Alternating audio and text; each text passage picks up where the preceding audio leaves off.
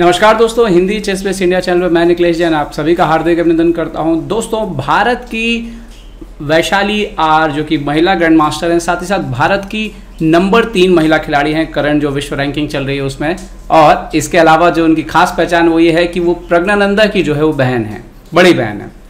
उन्होंने इस समय इंटरनेशनल शतरंज में जो ऑनलाइन शतरंज चल रही है महिला शतरंज की, उस पर धमाका कर दिया है। महिला स्पीड शतरंज, जो विश्व शतरंज संघ द्वारा आयोजित की जा रही है, उसमें पहले तो वो ग्रैंड पी पे पहुँची और उसके बाद अब वो उसके पहले क्वार्टर फाइनल को क्रॉस करते हुए सेमीफाइनल पर जाकर पे पहुँच गई हैं। बड़ी बात यह है कि कोनेरू हम्पी जो है वो क्वार्टर फाइनल के पहले ही बाहर हो गई इस टूर्नामेंट से। तो इसीलिए इस बात के मायने और बढ़ जाते हैं। उन्होंने काफ़ी सारे मुकाबले खेले, हालाँकि टूर्नामेंट ब्लिट्स खेला जा रहा है तो हर मुकाबले को जांचना, परखना, ब्लिट्स में हम जानते हैं काफ़ी सारे अप एंड डाउन होते हैं। लेकिन एक मुकाबला मुझे लगा कि न्यूज़ भी बांटू आपके साथ कि कैसे आप इसके बारे में खबर पढ़ सकते हैं। तो पहले देखते हैं कि आप कैसे वैशाली के बारे में खबर पढ़ सकते हैं।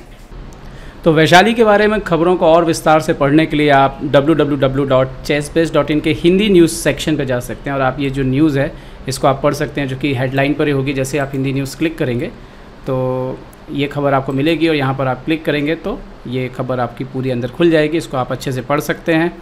यहाँ पर हमने विस्तार से बताया है कि एंटोनेटा से कैसे जीती उनके खास गेम्स को हमने यहाँ पर शामिल किया, आप डाउनलोड कर सकते हैं क्लिक करके।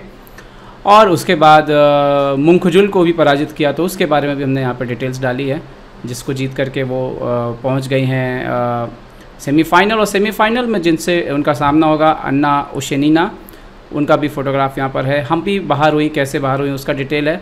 और उसके बाद कब कब ये टूर्नामेंट होगा कौन कौन खेलेगा तो उसके बारे में जो है वो डिटेल दी गई है। तो www.hindi सॉरी www.chessbase.in में हिंदी सेक्शन में जा के ये खबरें आप विस्तार से पढ़ सकते हैं।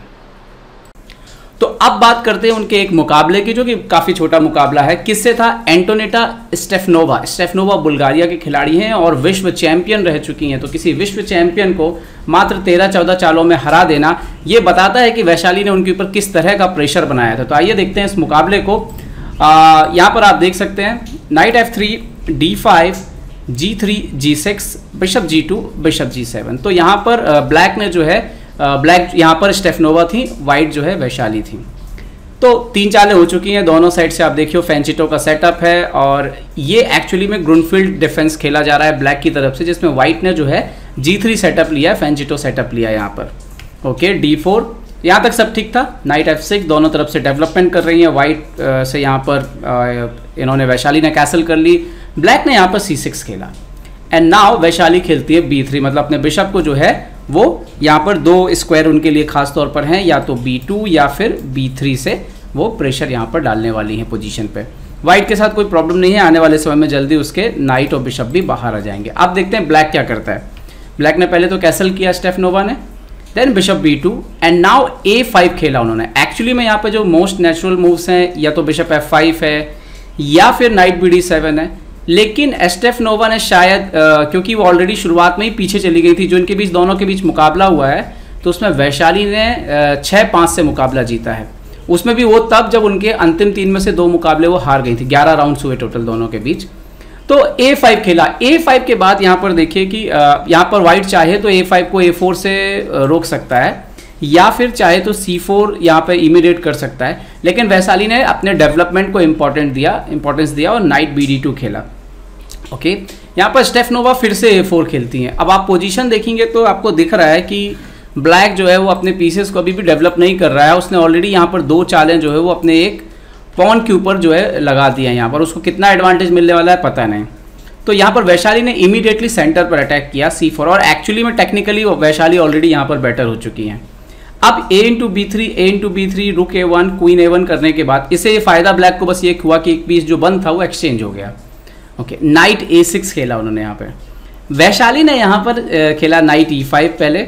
ओके और स्टेफ नोवा ने खेला क्वीन बी सिक्स, लेकिन वैशाली ने खेला बी सी थ्री। अब उनका आइडिया कुछ था यहाँ पर बी सी थ्री का। आने वाले समय में उनका आइडिया ये भी था कि डेफिनेटली वो अपने रुख को भी इधर पे ला सकती हैं और यहाँ से भी प्रेशर डाल के खेल सकती हैं अगर यहाँ पर सी फोर पर एक्सचेंजेस होते हैं तो। तो बी स्पॉन के टुवर्ड्स लेकिन यहाँ पर स्टेफ नोवा जो कि ऑलरेडी काफ़ी प्रेशर में टूर्नामेंट खेली हैं रुक डी एट खेल दिया। तो आपको दिख गया होगा क्या गलती कर दी, बहुत बड़ी ब्लेंडर कर दी स्टेफ नोवा ने यहाँ पर। और पूरा पूरा रुक उनको खोना पड़ा। जी हाँ बिशप ए फाइव सिंपल चाल उन्होंने मिस कर दी और स्टेफनोवा जैसे खिलाड़ी से गलती हुई और ये मुकाबला उन्होंने यहीं पर रिज़ाइन कर दिया। तो वैशाली के सामने सिर्फ़ चौदह चाल चाल में विश्व चैंपियन जो पूर्व विश्व चैंपियन का रिज़ाइन कर देना अपने आप में बड़ी बात है और मुझे अच्छी बात इसमें यह लग रही है कि मैं बातमी चेस ओलंपियाड में भी प्रेजेंट था वहाँ पर और जब भारतीय टीम चूकी थी और छठवें नंबर पर रह गई थी वुमेंस में तो वहाँ पर डेफिनेटली एक ऐसे खिलाड़ी की कमी खल रही थी जो कि युवा हो और बड़े खिलाड़ियों को मात दे सकता हो। तो अगर हम भी खेलेंगे अगले ओलंपियाड में, अगले साल, हरिका खेलती हैं और उसमें वैशाली भी अपनी जगह बनाती हैं, मुझे बहुत उम्मीद बन जाएगी इस टीम से, क्योंकि वैशाली में वो पावर है, इनके और बाकी जो मुकाबले भी देखे हैं कि वो बड़े खिलाड़ियों को हरा पा रही हैं। अलेक्जेंड्रा गोरिया चाकीना को पराजित किया, जो कि विश्व नंबर तीन है इसी टूर्नामेंट में पहले उन्होंने। और उसके बाद स्टेफनोवा को पराजित किया तो और उसके बाद अभी तो उन्होंने तुलमुख को पराजित कर दिया। मंगोलिया के खिलाड़ी और सेमीफाइनल में पहुँच गई हैं। तो देखते हैं अभी आगे क्या होगा। लेकिन ये सिर्फ़ एक एग्ज़ाम्पल था।